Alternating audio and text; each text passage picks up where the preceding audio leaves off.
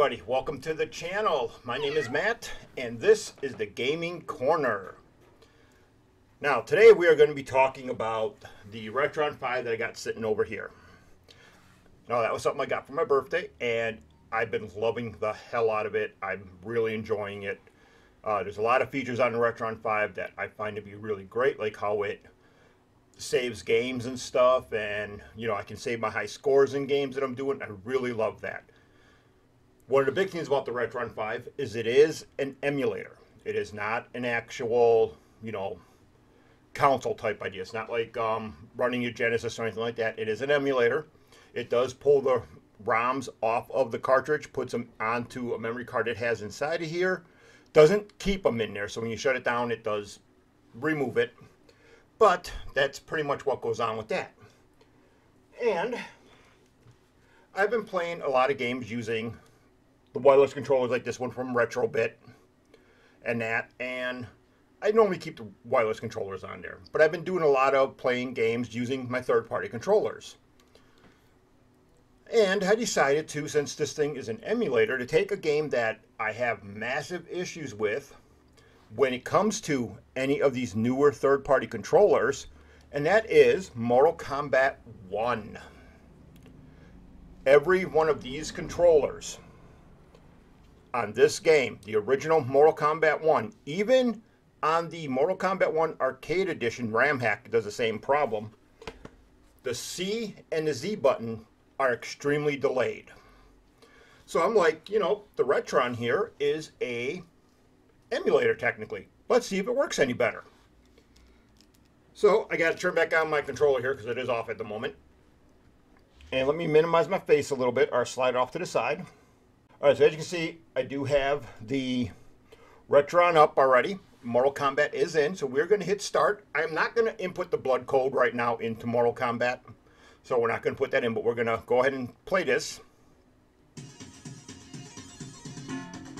Now, I am having some sound issues again right now. Um, my sound started messing up, so I had to do a little bit of fixing on that. So the sound you hear will be coming from the microphone, coming back up and through. You know, I have the blood code inside the box here. I just don't feel like looking it up, and I don't have it memorized anymore. So we're going to skip putting the blood in for now. But there's a reason why I'm doing this video with this controller. Now, Sega made six button controllers for these games. And if you play Mortal Kombat 1 on your Genesis, it can use a six button controller. I am a wimp, so I'm going to set this to easy, or very easy. Now, I can't change anything in the options here. I can't go and set up the six button controller, so whatever. But let's go into the game here. I'm going to use my favorite, Scorpion.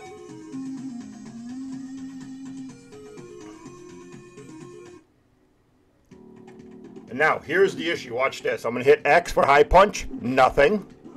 Y for block. Nothing. Z for high kick. Nothing.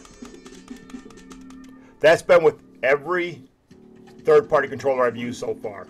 Lucky enough, Mortal Kombat 1 is easy enough to play with only the three buttons. So that's not a big deal. But yeah, Mortal Kombat 1, for some odd reason, doesn't like the six button controllers on this thing. It acts like it's a three button no matter what I do. I've had controllers that are plug in that are not wireless, same thing.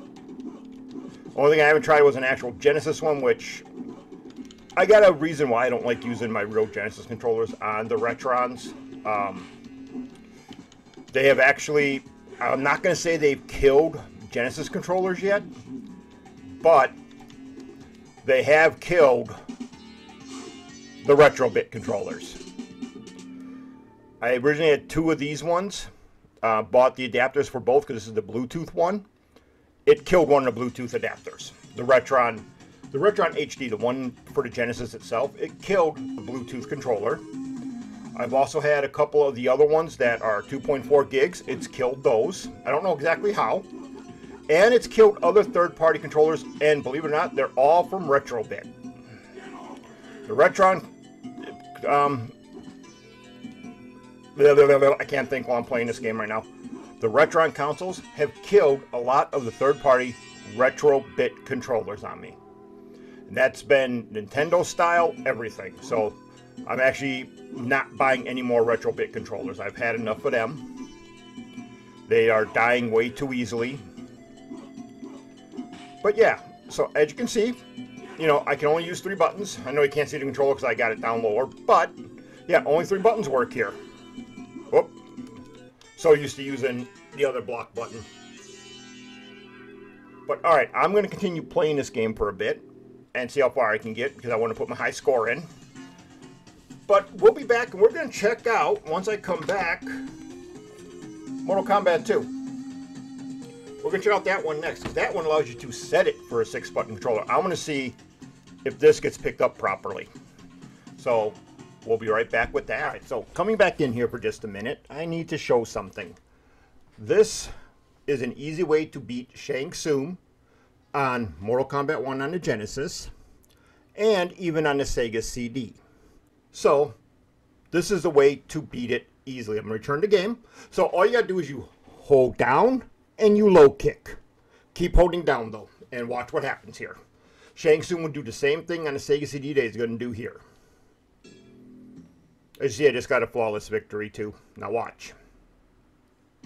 Hold down. And kick. As long as you time the kicks right, Shang Tsung never changes. And you get a double flawless victory on Shang Tsung. Or Shang Tombs, or Sums, or whatever hell his name is. And as you can see, very easy to do. And yes, this does work on the Sega CD also. Alright, so now we are moving over to Mortal Kombat 2. You see, I got the game in. It's already on the Sega logo. And we're still going to be using the Retrobit controller.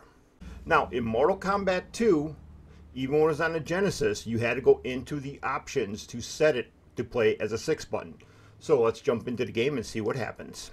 Alright, so we're going to jump into the options. 6 button, activator. Alright, we're going with 6 button. I'm going to put both on 6. Done. Now, you saw I set it for 6 buttons. Let's see what happens here. We're going to try high punch once we get into the game. And I'm going to show it on up here. I'm going to be pushing the X button. I got nothing. Nothing. Nothing. Nothing. Nothing. Yeah, does not work. So is it an issue with this controller? Or is it an issue with the Retron 5? I am not sure. We're going to pop in the next game, which is going to be Mortal Kombat 3, and see if it works on that one. Let's go to options. Joystick. So according to this, it's reading this as a six button controller. Let's see what happens when we jump in the game, shall we? Nope. Said, is it the Retron controller? The, ret the Retrobit controller? Or is it something else? Alright, so here we are inside Ultimate Mortal Kombat 3. And just like regular Mortal Kombat 3, as you can see, it does show a six-button controller. And I'm still using this one. Right away. Here we go. X, X, X. Nothing. So, again, nothing from the six-button controller. Okay, we are going to give a shot with the actual Hyperkin controller that they make and see if we get a better result. Alright, let's get into the game here and hang on. Neat. Time to hit the X button. Still nothing. Interesting. Even while holding it down, nothing. Alright, for the last thing to try, we are going to go with an actual Genesis controller. Alright, so the Genesis one works. Why didn't any of the other ones work?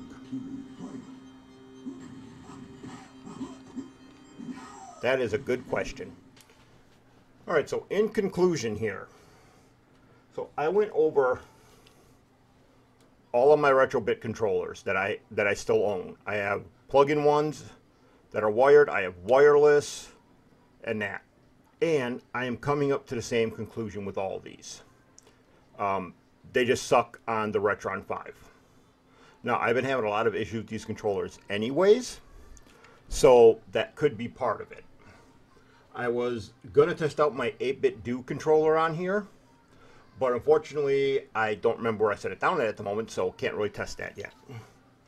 I normally use the 8-bit dough, or do, because it's not dough, it's do. Um, I usually use it on my actual Genesis most of the time. So it's probably sitting someplace over by my TV. I just need to find out where the heck I set it down at. So when I do find that one, I will redo the test real quick and just see how that one works on it. The only controller that worked perfectly was the Sega Genesis controller. The official Sega Genesis controller worked fine. I even tried an actual controller from Hyperkin on there. That too did not register as an actual six button controller, only as a three button. So, good question on why that all is. I don't know. On the Retron HD that I have that is made for a Genesis, they all work fine. It's just on this one they don't. So I'm not exactly sure what's going on there. But other than that, that is where this video is going to end for right now. I do appreciate you guys watching, and I will see you in the next video. And I'll let you know what I figure out on some other controllers as I test out more. Thank you for watching.